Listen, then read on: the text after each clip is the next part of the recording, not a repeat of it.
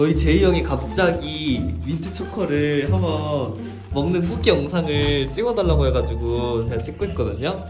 과연 제이 형의 반응은 어떨지 너무 궁금합니다 지금. 네, 한번 드셔보시죠. 전 제이 형이 갑자기 이런다 그래서 너무 깜짝 놀랐지만 형이 이거를 계기로 더 좋아할 수도 있다는 희망이 있기 때문에 저는 긍정적인 방향 방향으로 보고 있습니다. 진짜 맛있는데. 네, 냄새는 어떠신가요?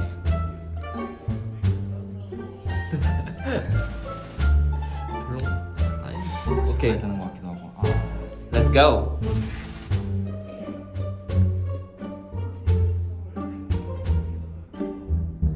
과연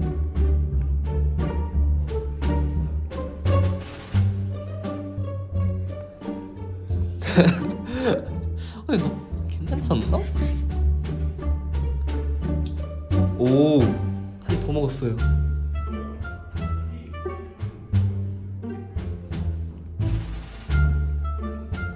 근데 솔직히 나쁘지 않죠. 생각보다 나쁘지 않은데. 그쵸?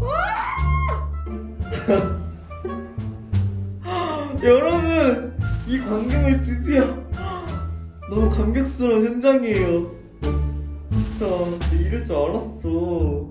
여러분 이것이 바로 수, 가는 길입니다. 한 한 달에 먹고 한번 먹으면 맛있겠다. 이게 한 달에 한 번인가